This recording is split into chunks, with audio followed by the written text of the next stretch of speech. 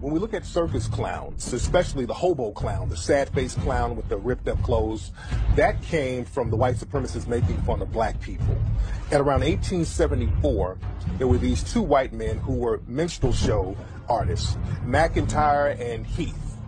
And in 1874, you remember this is directly after the Civil War. When the Civil War was over, a lot of black people were homeless and destitute, and they would have to ride boxcars and trains all around the country looking for work, and they would wear tattered clothes, and they were just poor begging and just trying to do whatever they needed to do to survive.